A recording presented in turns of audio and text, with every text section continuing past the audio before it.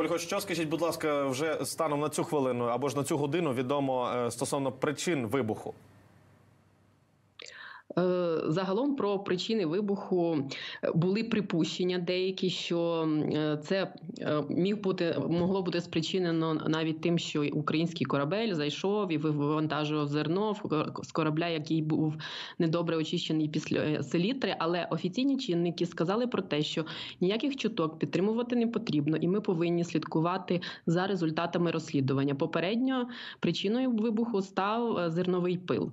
І вибух стався в 14.40, і вже перші повідомлення від офіційних осіб були буквально за півгодини. Із 30 силосів бортового елеватора 13 були пошкоджені вибухом. Також були пошкоджені господарські будівлі. Е, З під завалів рятувальникам вдалося врятувати одну особу і таким чином уникнути станом на зараз смертельних жертв. І про кількість постраждалих та їхній стан і попередньо встановлену причину вибуху розповів губернатор провінції Коджелі. Давайте послухаємо його.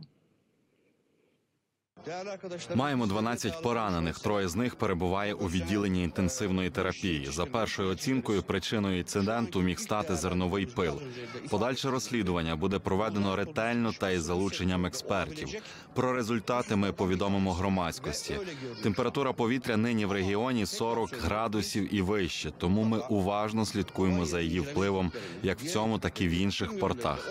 Але не вона стала причиною вибуху, хоча і робота системи вентиляції і системи охолодження є складовими забезпечення роботи силосів. Я хочу відзначити, що сьогодні, на жаль, у Туреччині це не єдиний інцидент. У провінції Адана на південному сході у промисловій зоні вогнем було ушкоджено 18 підприємств та офісів, і також е, горів хімічний завод в Тикірадагу, що також є портовим містом на Мармуровому морі. Студія. Ольго, якщо ми повертаємося зокрема до першого інциденту, про який ви згадували, а ми чи є більше інформації? Ви згадували, що це був український корабель, правильно?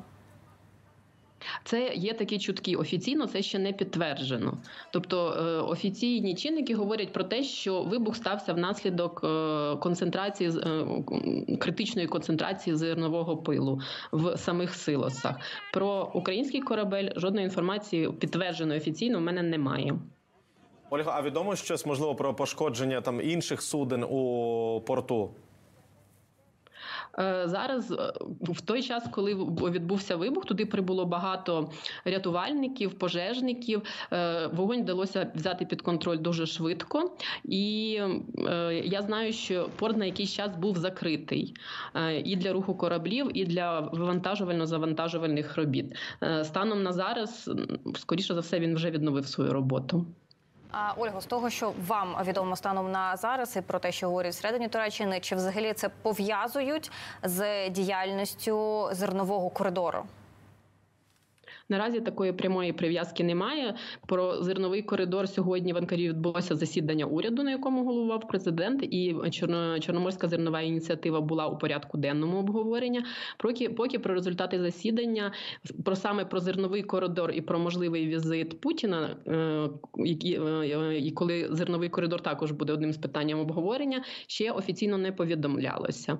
Але скажу так, що Туреччина за нині докладає активних зусиль для продовження дій зернового коридору, і це питання також е, буде одним з ключовим, е, якщо приїде е, російський президент в кінці цього місяця. Але поки цей візит офіційно не оголошено, дата точно невідома, так само як і перелік питань, які будуть обговорюватися.